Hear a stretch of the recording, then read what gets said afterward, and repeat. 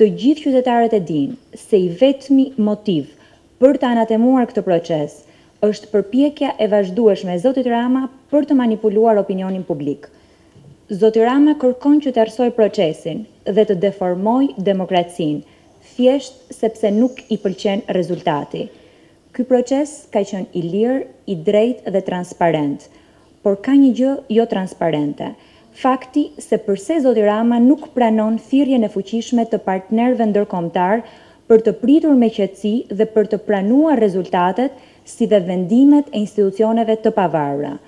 Ajo që është transparente dhe e qartë për të gjithë, është arsyeja se përse zoti Rama nuk dëshiron të numërohet çdo votë, përse zoti Rama nuk dëshiron të dëgjohet zëri i çdo qytetari.